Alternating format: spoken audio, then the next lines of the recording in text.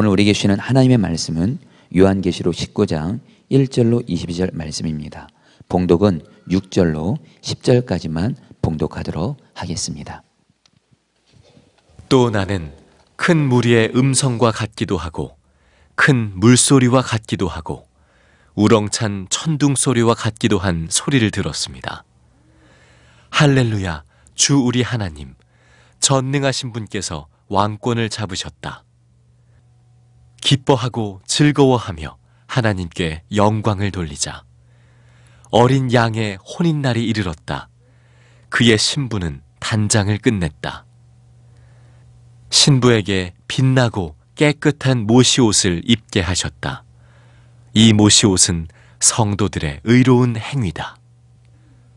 또 그 천사가 나에게 말하였습니다. 어린 양의 혼인잔치에 초대를 받은 사람은 복이 있다고 기록하여라. 그리고 또 말하였습니다. 이 말씀은 하나님의 참된 말씀이다. 그때 내가 그에게 경배드리려고 그의 발 앞에 엎드렸더니 그가 나에게 말하였습니다. 이러지 말아라. 나도 예수의 증언을 간직하고 있는 내 동료들 가운데 하나요. 너와 같은 종이다. 경배는 하나님께 드려라. 예수의 증언은 곧 예언의 영이다. 아, 오늘 저는 여러분에게 요한계시록 19장의 말씀을 가지고 어린 양의 혼인 잔치에 대한 설교를 여러분에게 드리려고 합니다. 이 세상 역사의 마지막 순간에 우리 주님이 재림이 오실 때 이 땅과 하늘은 완전히 다른 장면이 펼쳐지게 됩니다. 이 땅에서는 바벨론이 멸망하는 하나님의 무서운 심판이 벌어지고 하늘에서는 하늘에서는 어린 양의 혼인 잔치가 벌어집니다. 11절 이하에 보면 어, 마지막 전쟁 예수 그리스도와 그리고 짐승과 세상 왕들과 군대들이 연합군을 이루어서 인류 마지막 대전쟁이 벌어지는 장면이 기록되어져 나옵니다. 요한계시록 18장에 잠깐 언급된 전쟁인데 자세하게 19장에는 설명이 되어져 나옵니다. 물론 그 결과 다 잘 아시죠? 앞으로 될 일이지만 이미 결과까지 다 성경에 예언되어져 있습니다. 예수님께서 어, 흰 말을 타시고 그 모든 전쟁을 진두지휘하시고 그리고 짐승과 세계 열방의 왕들과 그 군대들이 주님의 입에서 나오는 말씀의 검에 의하여 다 죽임을 당합니다. 그리고 새들이 그 시체를 쪼아먹는 새들의 잔치가 벌어진다. 그렇게 성경은 말씀하고 있습니다. 이런 끔찍한 일이 이 땅에서는 벌어지지만 하늘에서는 수많은 성도들이 할렐루야 아, 찬양을 하나님께 올려드립니다. 그렇죠. 하나님의 구원과 그리고 하나님의 심판과 하나님의 통치가 이루어지는 일이 정말 성도들에게는 할렐루야 찬양할 일이죠. 얼마나 많은 사람들이 그 찬양을 부르는지 요한 사도가 이렇게 표현합니다. 6절 하반절에 큰 무리의 짐승과 같기도 하고 큰 물소리와 같기도 하고 우렁찬 천둥 소리와 같기도 한 소리라고 그렇게 말했습니다. 그러니까 하나님의 보좌 앞에 구원받은 수많은 성도들이 다 일제히 할렐루야, 할렐루야, 할렐루야, 할렐루야 네 번 할렐루야를 외치게 되는 장면이 보여집니다.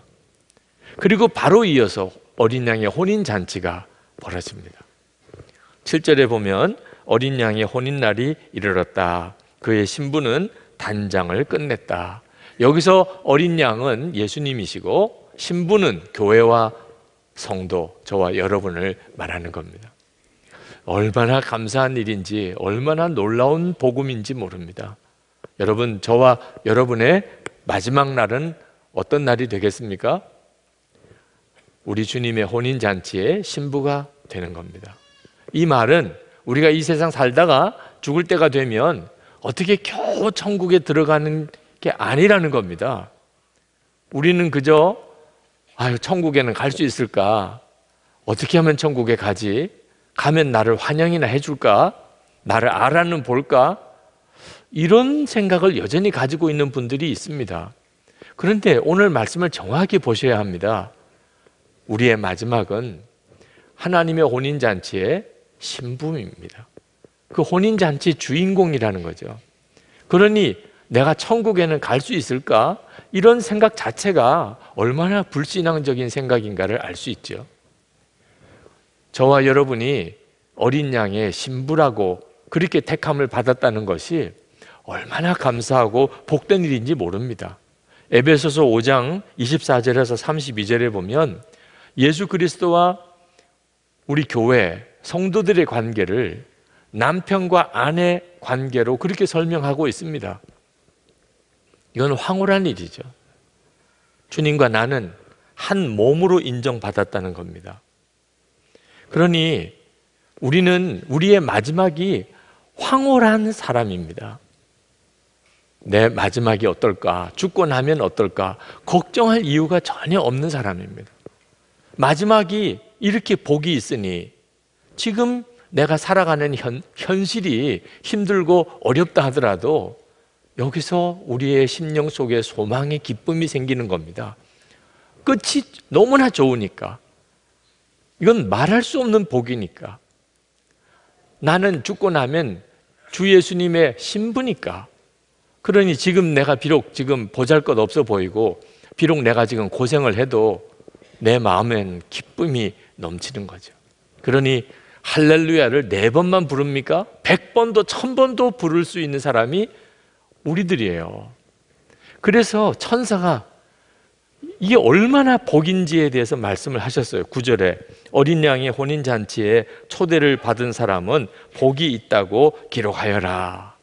정말 복도 복도 이런 복이 없습니다. 저와 여러분이 받은 복, 어린 양 예수 그리스도의 신부가 된 이 복은 지상 최대의 복입니다. 천상 최대의 복입니다. 요한이 자기와 성도들이 어린 양 혼인 잔치에 신부가 되어 있는 그 놀라운 혼인 잔치의 광경을 보고 그가 얼마나 기뻤고 또 놀랬으면 그 말을 전해준 천사를 경배하려고 했습니다. 천사가 요한이 자기에게 경배하려고 하는 걸 보고 화급히 그 요한을 이렇게 세우고는 이렇게 말했습니다. 10절에 이러지 말아라. 나도 예수의 증언을 간직하고 있는 내 동료들 가운데 하나요. 너와 같은 종이다. 경배는 하나님께 드려라. 예수의 증언은 곧 예언의 영이다.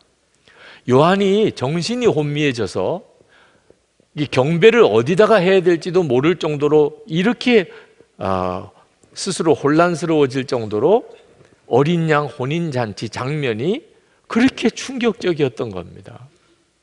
이것이 저와 여러분들에게 주어진 하나님의 은혜예요. 그런데 안타까운 것은 분명히 주님의 신부이면서도 그 신부된 기쁨을 가지지 못하는 성도들이 너무 많다는 거예요.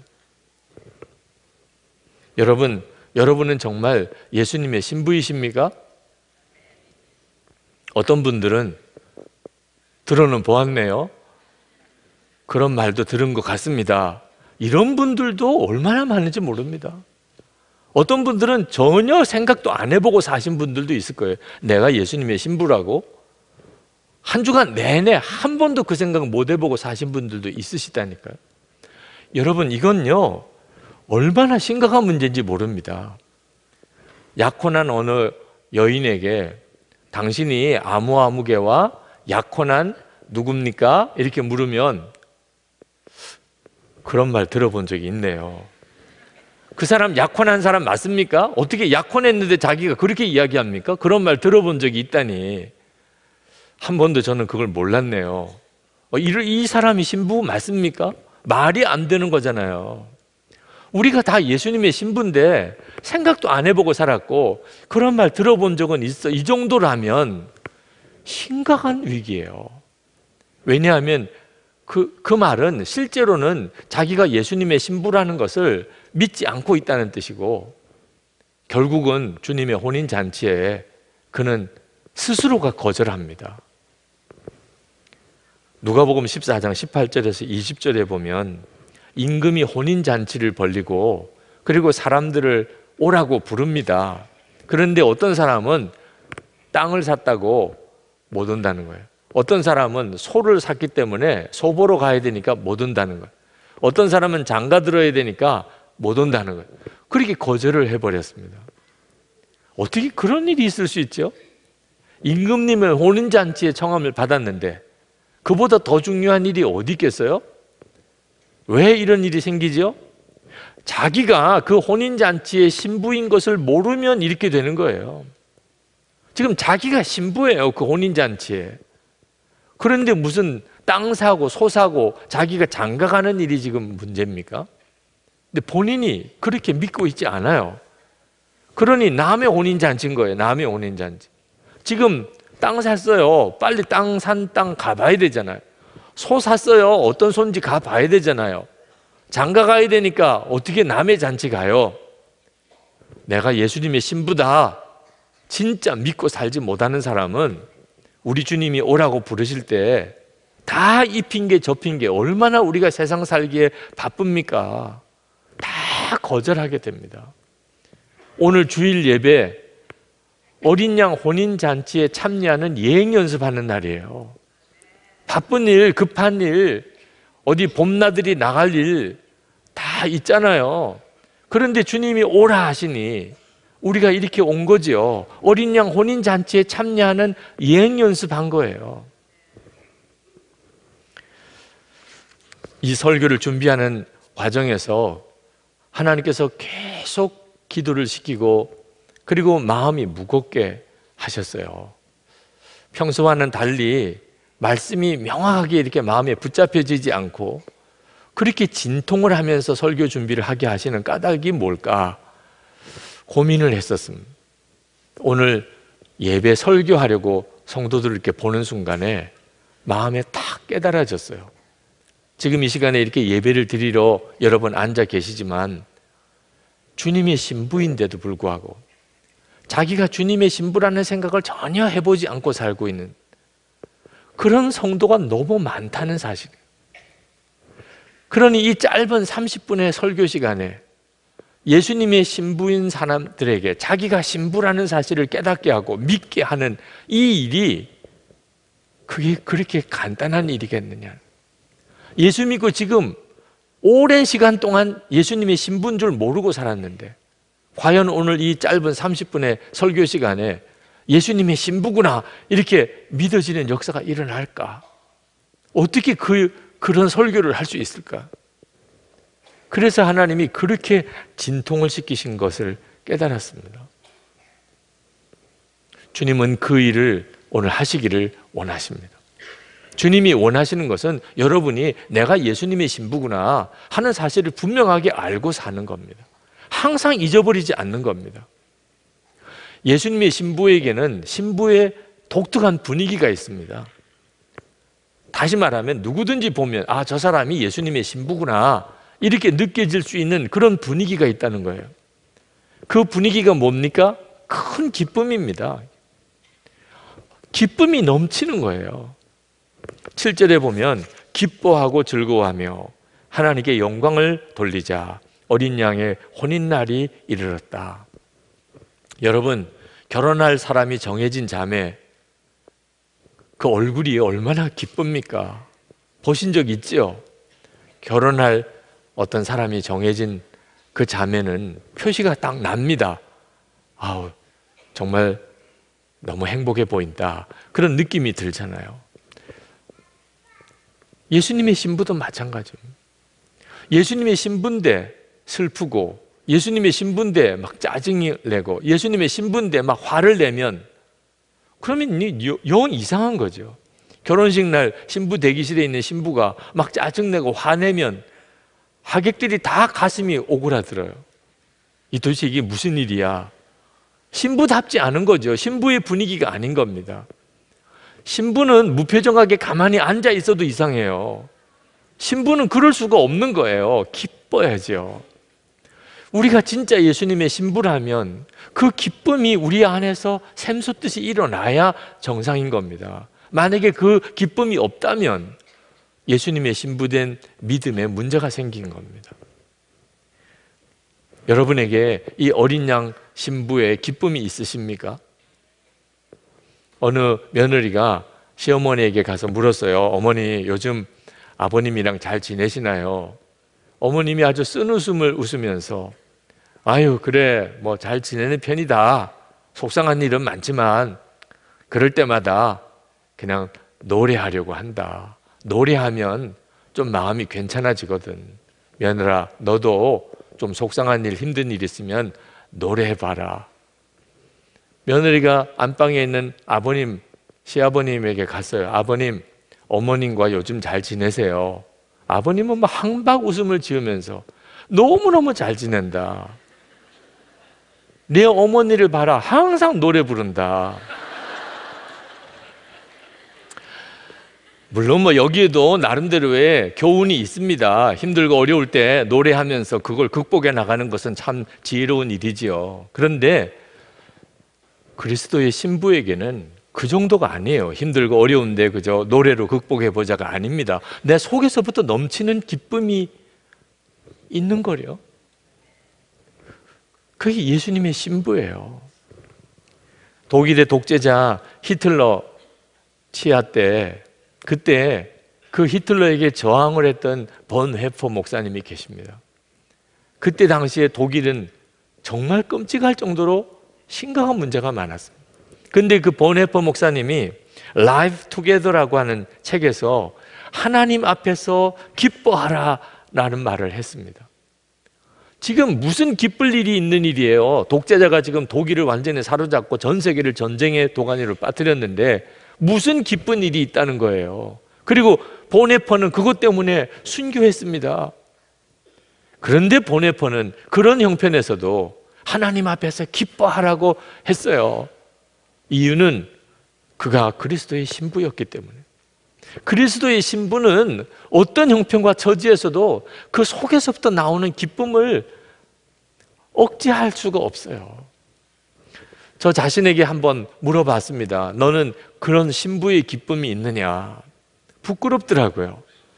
제 속에 그런 기쁨이 충만하다고 말할 자신이 없더라고. 왜 그럴까? 하고 돌아봤더니 항상 사람 보고 환경 보고 저 자신을 보고 있었기 때문이었어요. 사람을 보면 늘 실망스럽습니다. 환경을 보면 늘 낙심이 됩니다. 나 자신을 보면 좌절이 돼요. 그러니까 어떻게 기쁘게 살아요? 그래서 주님이 말씀하셨어요. 너는 항상 24시간 나를 바라봐야 된다. 아, 왜 하나님이 그 말씀을 하셨는지를 깨닫겠더라고요. 그리고 정말 놀라운 변화가 일어났어요. 사람을 보면 실망스러운데 주님을 바라보면 기뻐요. 환경을 보면은 너무너무 낙심이 되는데 주님을 바라보면 너무 기뻐요. 나를 보면은 좌절에 빠지는데 주님을 바라보면 너무 기뻐요. 주님의 신부에게 일어나는 기적이에요. 신부는 항상 신랑을 바라보는 거잖아요. 신랑을 사모하는 거잖아요. 거기서부터 기쁨이 나오는 겁니다. 이렇게 신부에게 기쁨이 샘솟으면 신부의 삶이 달라집니다. 그게 신부가 입을 옷이에요. 또 하나의 신부의 분위기입니다. 의로운 생활입니다. 주님께서 신부에게 옷을 하나 입히셨어요. 요한계시록 19장 8절에 신부에게 빛나고 깨끗한 모시 옷을 입게 하셨다. 어느 목사님은 이것을 천상의 웨딩 드레스라 이렇게 표현을 하셨는데 참 기가 막힌 표현이십니다. 여러분, 여러분이 신부인데 웨딩 드레스는 준비하셨나요? 도대체 웨딩 드레스가 뭐죠? 아니 주님과 혼인하려면 웨딩 드레스는 입고 가야 되잖아요. 이 빛나고 깨끗한 모시 옷이라고 그랬습니다. 도대체 이 옷이 어떤 옷일까? 8절 하반절에 보면 이 모시 옷은 성도들의 의로운 행위라. 성도들의 의로운 행위라.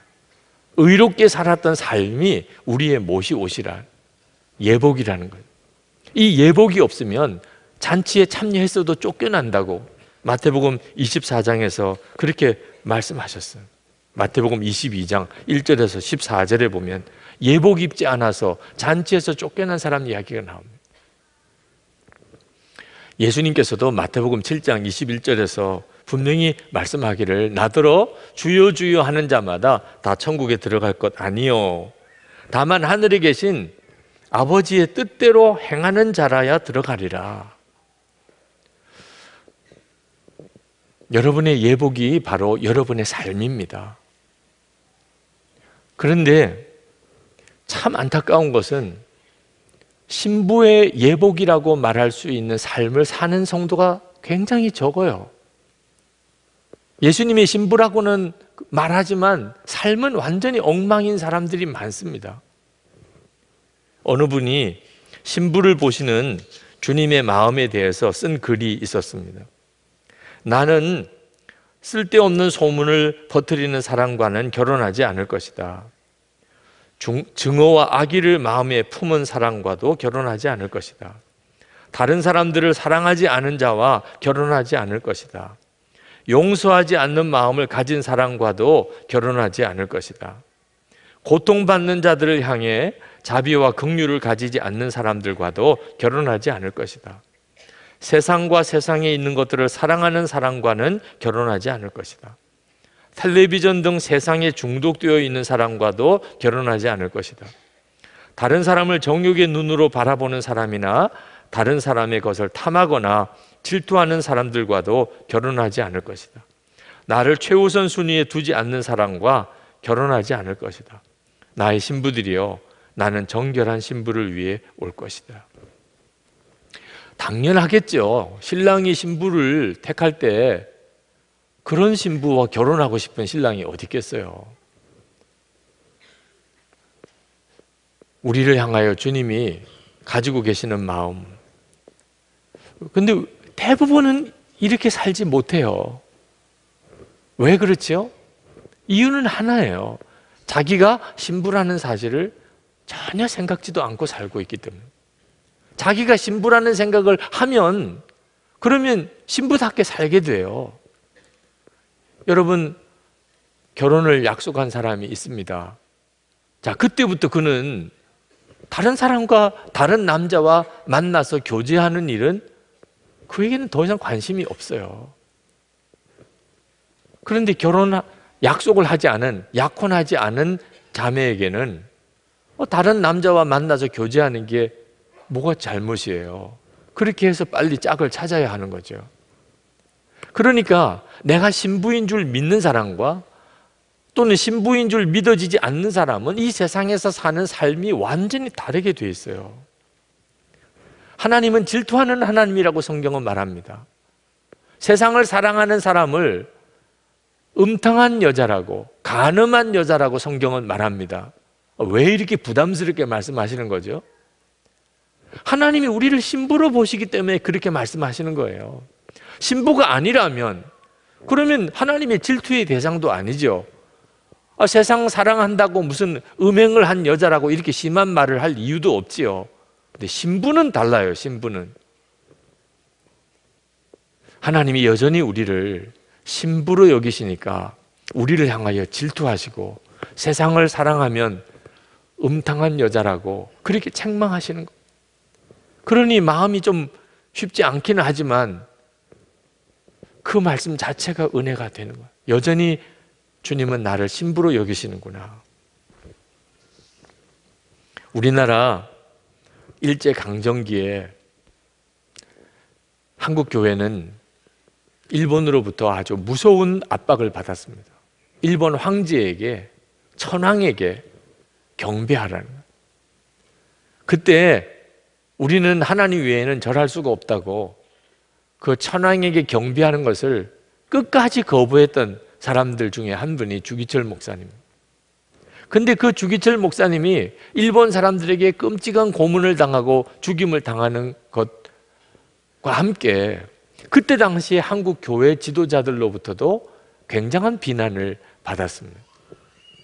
주기철 목사, 당신만 생각하지 마. 당신 때문에 교회 다 죽어. 사람이 지혜롭게 해야지. 마음만 안 그러면 될 거 아니야? 그냥 고개 숙여. 잘난 척 하지 말고 고개 숙이라고. 당신만 믿음 있어? 나도 믿음 있다고. 주기철, 당신 교만한 사람이야. 고개 숙인다고 마음도 숙이나? 어쩔 수 없으니 그러는 것이지. 아마 이 자리에 이런 말이 마음에 먹혀드는 분이 있으실 거예요. 어디서 이런 차이가 나는 거죠?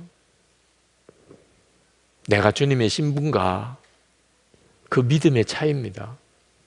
신분은요, 마음만 아니에요. 겉으로도 그는 다른 남자와는 더 이상 교제하지 않아요. 신부라는 생각이 분명치 않으니까 여기도 저라고 저기도 저라는 거죠. 여기까지만 말씀을 듣고 끝나면 아마 여러분 중에 대부분은 아유 나는 신부 아니네. 오늘 확실히 알았네. 이렇게 끝나실 분들이 대부분이실 거예요. 아우 나같이 더러운 놈이 무슨 신부야. 네, 여러분 여러분 자신에 대해서 그렇게 비참하게 느껴지더라도 낙심하지 마세요. 하나님께서 호세아 선지자에게 음탕한 아내 고매를 맞이하도록 했습니다. 세상에 말도 안 되는 여자예요. 남편이 있는데 다른 남자에게 가서 삽니다. 그러면 호세아는 가서 그 남자에게 몸값을 지불하고 다시 고매를 데리고 와요. 이러기를 수도 없이 합니다. 왜 하나님은 호세아라고 이렇게 신실한 종에게 그런 끔찍한 일을 아, 하게 하실까요? 하나님의 심정이 그러니까 우리가 남편 되는 주님을 떠나서 세상을 짝해서 음녀처럼 그렇게 살아도 여전히 주님은 우리를 신부로 여기시고 우리를 사랑하신다는 것을 말하시려고 우리에게 전하시려고 호세아를 쓰게 한 거예요. 이건 정말 이해가 안 되는 은혜예요. 우리 우리들 관행으로는 있을 수가 없는 일이니까 설명하기도 어려워요. 이런 은혜를. 그러나 그것이 사실이에요. 우리가 할 일은 믿는 것 뿐이에요. 하나님은 나같이 정말 말도 안 되는 더럽고 우리 주님의 얼굴에 먹칠하고 세상 좋아가지고 가늠한 것과 같은 그런 나인데 여전히 내 남편이 되시고 나를 사랑하신다. 십자가가 그 증거로 보여주시고 있잖아요. 우리가 할 일은 그것을 아멘으로 받는 것 뿐이에요. 그러면 예수님의 신부면서 세상 나가서 마음대로 살아도 된다는 이야기인가? 그 말씀은 아닙니다. 그 말씀은 아니에요. 예수님께서 우리를 주님의 기뻐하시를 신부로 만들어 주신다는 거예요. 주님이 그렇게 만들어 주신다는 거예요. 에베소서 5장 26절부터 이는 곧 물로 씻어 말씀으로 깨끗하게 하사 거룩하게 하시고 자기 앞에 영광스러운 교회로 세우사 티나 주름 잡힌 것이나 이런 것들이 없이 거룩하고 흠이 없게 하려 하심이라. 우리로서는 도저히 빛나고 그리고 깨끗한 그런 옷과 같은 삶을 못 살아요. 우리에게는 그런 능력이 없어요. 그런데 주님은 얼마든지 그렇게 하실 수 있어요. 그래서 우리가 할 일은 나는 죽고 예수로 사는 십자가 복음을 분명하게 고백하는 겁니다. 나는 죽었습니다. 이제 예수님이 내 안에 사십니다. 신랑이신 예수님이 내 안에 오셨어요. 내가 신부라고 내 안에 오신 거예요. 우리가 할 일은 이 사실을 진짜 믿고 내가 예수님의 신부다. 그 사실을 항상 기억하고 나는 죽고 예수로 사는 십자가 복음으로 사는 것. 그러면 우리의 삶에 기쁨이 충만하고 우리가 의로운 삶을 사는 역사가 일어난다는 거예요. 로마서 13장 14절에 오직 주 예수 그리스도로 옷 입고 정욕을 위하여 육신의 일을 도모하지 말라. 깨끗하고 빛나는 옷이 그리스도인의 행실인데 여기서는 예수 그리스도가 그 옷이라는 겁니다. 그러니 우리가 할 일이 뭐가 있어요? 의로운 삶을 살려고 노력하는 것보다 나는 죽고 예수로 사는 사람입니다. 믿음의 고백을 하고 나가는 것이 더 정확하고 더 완전한 길인 것입니다. 자, 이제 설교를 마쳐야 될 시간입니다. 여러분이 예수님의 신부라는 믿음이 생기셨습니까? 잊어버리기 어려울 정도로 마음에 탁 꽂히셨습니까? 그러기를 기도했어요. 오늘 이 예배에 참여한 분들은 다 내가 예수님의 신부구나. 언제 어디서든지 나는 예수님의 신부야.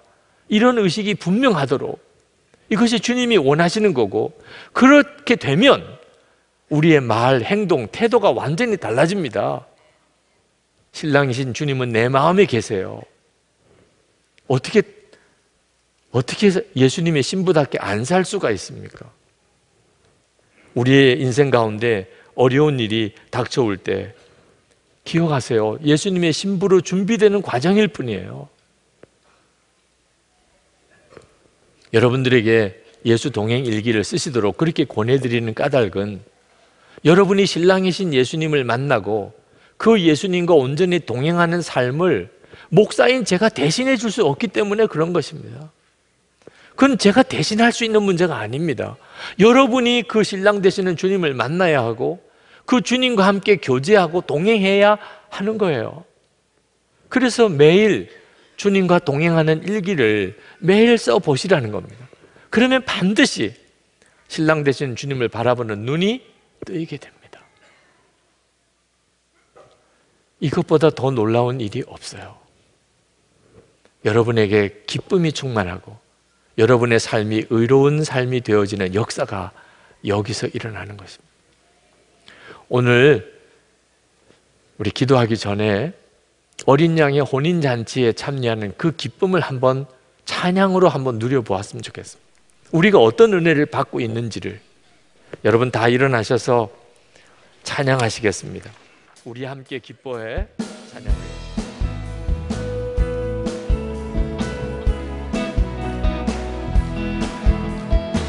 우리 함께 기뻐해. 주께 영광 돌리세. 어린 양의 혼인 잔치와 신부가 준비되었네. 우리 함께. 우리 함께 기뻐해. 주께 영광 돌리세. 어린 양의 혼인 잔치와 신부가 준비되었네 할렐루야 전능하신 주가 다스리네. 할렐루야 전능하신 주가 다스리네. 할렐루야 전능하신 할렐루야 전능하신 주가 다스리네.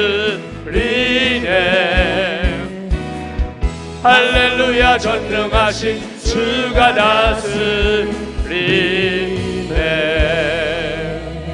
우리 시간에 합심해서 기도할 때 이 찬양의 분위기를 잊으시면 안 됩니다 신부에게는 기쁨이 있어요 그리고 삶이 완전히 다릅니다 신랑이신 예수님이 이미 우리 안에 와 계십니다 여러분이 기도하실 때 주여 나에게 항상 예수님의 신부라는 것을 잊어버리지 않게 하시고 그리고 그 말할 수 없는 기쁨과 의로운 삶을 주옵소서. 우리 주여 부르짖고 기도하겠습니다. 주여! 할렐루야. 그거 놀라우신 하나님의 은혜와 사랑에 감사드립니다. 하나님의 역사하심을 주의 크신 은혜를 하나님 감사합니다. 아버지 하나님 오늘도 하나님 앞에 나와 예배하고 하나님 앞에 찬양하며 간절한 마음으로 기도하는 사랑하는 성도들을 주의 은혜로 덮어주시고 하나님의 능하신 손으로 사로잡아 주시기를 원합니다. 주 예수님의 신부로 부름받은 자로 하나님의 확신을 주시고 하나님 신랑 되시는 주 예수님을 바라보고 항상 바라보고 살게 하여 주시기 원합니다. 기쁨에 충만한 삶 하나님 정말 의로운 삶 신부다운 믿음의 삶 살게 하여 주옵소서 아버지 하나님 오늘 이 예배에 참여한 모든 성도들에게 예수님의 신부가 되었음을 이미 주님이 그렇게 부르셨음을 우리에게 허락하신 말할 수 없는 은혜임을 깨닫게 하여 주시고 믿어지게 하시고 항상 기억나게 하시고 언제 어떤 순간에든지 예수님의 신부가 된 자임을 항상 잊지 않게 하여 주옵시고 신랑 되신 예수님 이미 우리 마음의 심령에 와 계신 것을 알게 하시고 신랑이신 주님 바라보고 살게 하여 주시옵소서. 약속하신 말할 수 없는 그 신부의 기쁨을 우리가 날마다 누리게 하시고 그리고 정말 신부다운 삶, 의로운 생활을 하게 우리를 이끌어 주옵소서. 오늘 주의 사랑하는 모든 성도들의 심령에 주님이 함께 하시고 그 은혜의 눈을 분명히 열어 주시기를 원합니다. 하나님, 오늘도 저희들이 전심으로 주님 앞에 예배하고 우리의 주님을 향한 뜨거운 믿음과 감사와 사랑을 담아 이 헌금을 주께 올려드립니다. 사랑하는 성도들의 머리 위에 주의 은혜를 더하소서. 심령에 주를 바라보는 눈을 열어 주옵소서. 육신도 주의 손으로 만져 깨끗게 고쳐 주소서. 가정 안에 부모와 자녀와 형제 하나님 사이에 천국 같은 가정 이루고 살게 하소서. 재정에 어려움 없도록 성도들이 기업에 주의 손을 더하시고 돕고 베풀고 나누어 주며 사는 성도들 다 되게 하소서. 나라와 민족이 참으로 중요한 때 있어 4월 27일 남북 정상회담 또 한 주간 다가왔습니다. 주님이 주관하소서, 주님이 모든 일을 진행하소서, 주님이 뜻대로 이 민족 가운데 진정한 복음의 통일, 평화의 통일이 이루어지게 해 주옵소서. 여전히 억류되어 있는 주의 종들이 있습니다. 김국기 선교사님, 최, 김정욱 선교사님, 최충길 선교사님, 김동철 선교사님, 김학성 교수님, 김상덕 교수님, 주님의 손으로 속히 풀려나게 하시고 탈북자들을 돕기 위해서 고생하다가 중국 감옥에 있는 온성도 목사님 비롯한 많은 주의 종들 하나님 이제는 석방되게 해 주옵소서. 선교사님들 주의 은혜 손에 사로잡으소서.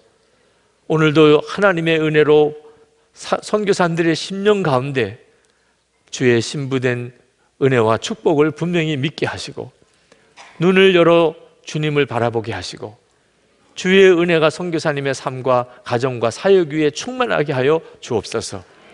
주 예수 그리스도 이름으로 간절히 기도합나이다. 아멘.